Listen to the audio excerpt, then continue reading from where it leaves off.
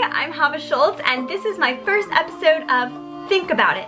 This is a series I'm starting so that I can just come on here every so often and share a little bit of my inner world with you. The plan is to take a quote or a thought-provoking subject every so often and just come on and let you know what I think about it. Today I want to talk about a quote by Oprah.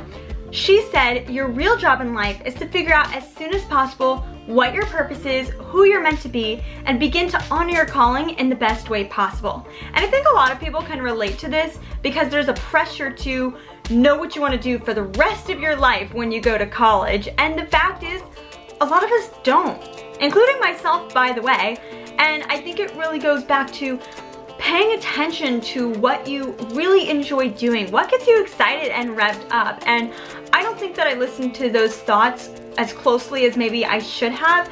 And I'm not saying that I lived a falsehood. I did live my truth in a lot of ways, but there were definitely things that I probably could have picked up on sooner. And if I had, I wonder how much faster I would have figured things out for myself.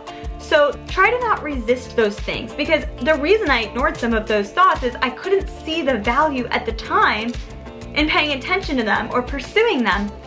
And the fact is, sometimes you won't see those things right away.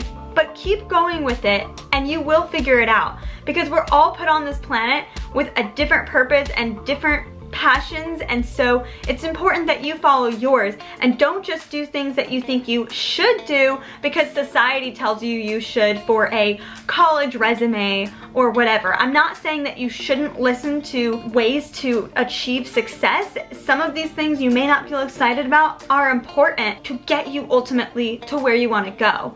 If you don't like math, but you need to do well in math to get into the college of your dreams that will then lead you to your life dream, you need to do well in math, even if you don't like it. So the point is, listen to what you are sparked by and go with it and be your best you. Don't get bogged down by what everybody around you says you need to be. I really admire Oprah. I think she has a lot of wisdom, so this is the way I interpreted this quote, and she has a lot of other great quotes, so maybe we'll do another one of hers soon.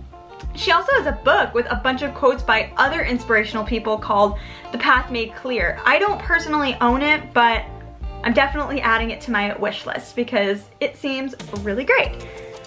I hope you enjoyed this first episode of Think About It. If you have thoughts on this topic, I would really love to hear them, so comment those below. And also, if there's a certain quote or topic you'd like to hear my thoughts on, let me know that as well. Thank you so much for watching. Click here to watch another video and click here to subscribe.